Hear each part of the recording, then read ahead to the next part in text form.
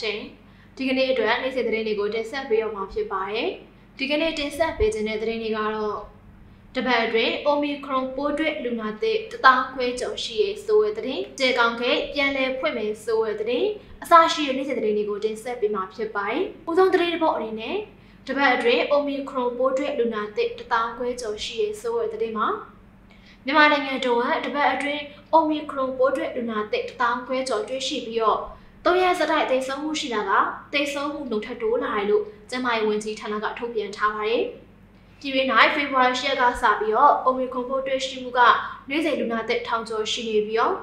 ဖေဖော်ဝါရီ16ရက်အထိကိုတပတ်အတွင်းလူနာသစ်15155ဦးအထိတွေ့ရှိထားကတိတ်ဆုံးမှုနှုတ်ထားတွေကလည်းမြင့်တက်လာပါတယ်။ရောဂါပိုးတွေ့ရှိမှုကဖေဖော်ဝါရီ10ရက်မှာ1145ဦး9ရက်မှာ1043ဦး 10ရက်မှာ1309ဦး17ရက်မှာ1609ဦး12ရက်မှာ1988ဦး13ရက်မှာ1483ဦး14ရက်မှာ1586ဦး15ရက်မှာ1468ဦးနဲ့16ရက်မှာတော့1940ဦးအထိရှိလာပါတယ်။ဒါအပြင်သေဆုံးမှုတွေကလည်းပြန်လည်မြင့်တက်လာကဖေဖော်ဝါရီ14ရက်မှာတအူးစတင်သေဆုံးပြီးတော့ဖေဖော်ဝါရီ15ရက်မှာ3ဦးဖေဖော်ဝါရီ16ရက်မှာ4ဦးထပ်မံသေဆုံးက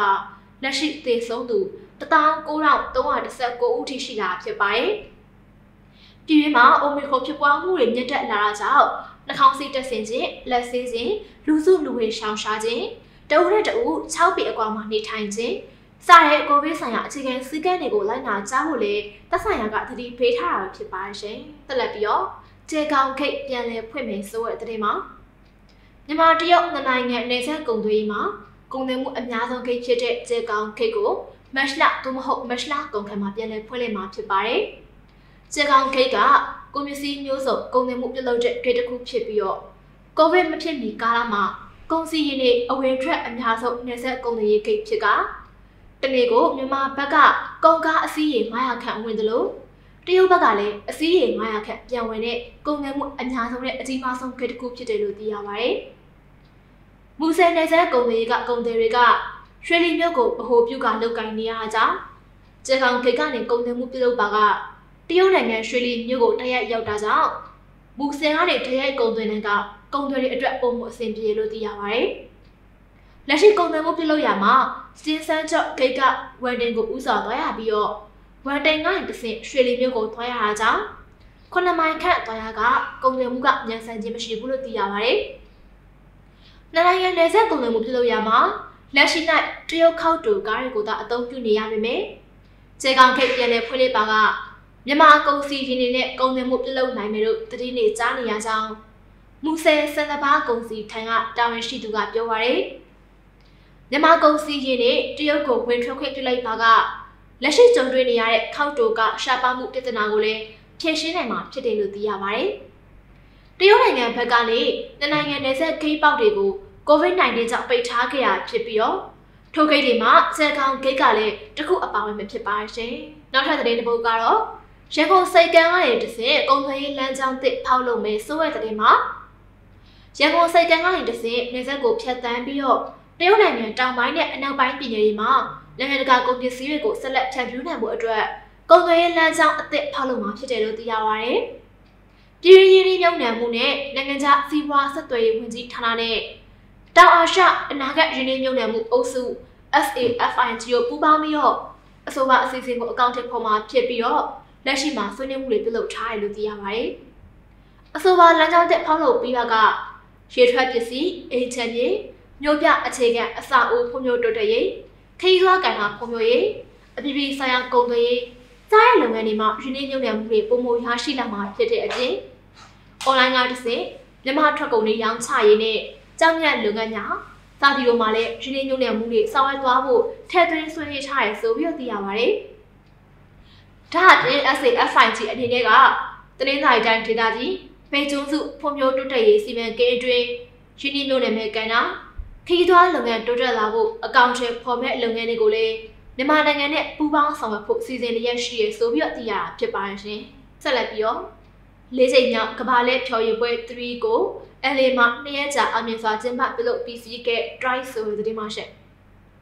Drive အဖွဲ့ဟာသူတို့ရဲ့လေးချိန်မြောက်ကဘာလဲဖြော်ရည်ပွဲ3သူတို့ရဲ့အစိတ်တစ်ပိုင်းအဖြစ် Los Angeles မှာသူတို့ရဲ့နှစ်ရက်ကြာဖျော်ဖြေပွဲကိုအောင်မြင်စွာကျင်းပပြုလုပ်ခဲ့ရပါ Twice ဟာ US ခရီးစီရဲ့မှတ်တိုင်အဖြစ်ဖေဖော်ဝါရီ15ရက်ကနေဖေဖော်ဝါရီ16ရက်အထိအဲလီမာရှိရဲ့ Dell Forum မှာဖျော်ဖြေခဲ့ရပါ 2019ခုနှစ်မှာသူတို့ရဲ့ပထမဆုံး American ဖျော်ဖြေပွဲအပြီး၃နှစ်နီးပါးကြာပြီးတဲ့နောက်ပထမဆုံးအကြိမ်အဖြစ်သူတို့ရဲ့ American ပြည်သက်တွေနဲ့ပြန်လည်ဆုံစည်းခဲ့ကြရတာဖြစ်ပါတယ်။ချိန်ထဲမှာပဲ Twice ကဖေဖော်ဝါရီ18ရက်နေ့မှာ Auckland Arena မှာဖျော်ဖြေမဲ့သူတို့ရဲ့ဒုတိယမြောက် American မှတ်တိုင်အတွက်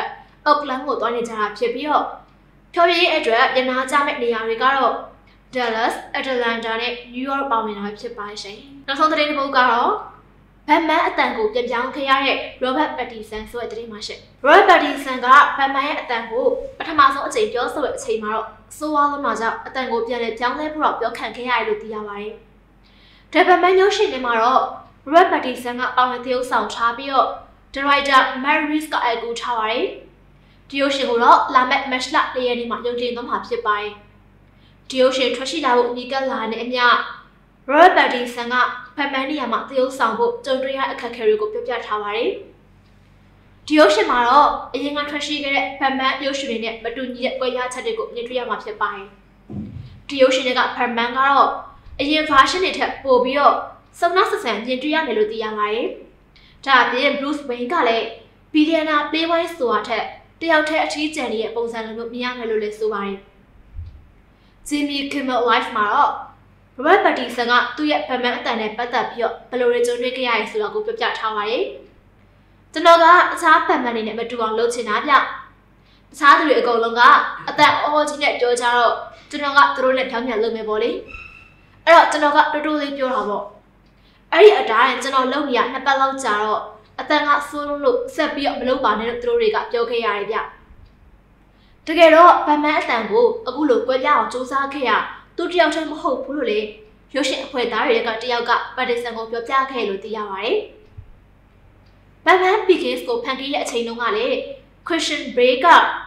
Robert Pattinson လိုပဲတပုံစံနဲ့စူးစမ်းခဲ့တယ်လို့ဆိုပါတယ်။အခုဆိုလို့ရှိရင်တော့ Robert Pattinson ရဲ့ဘတ်မန်အတန်ဟာ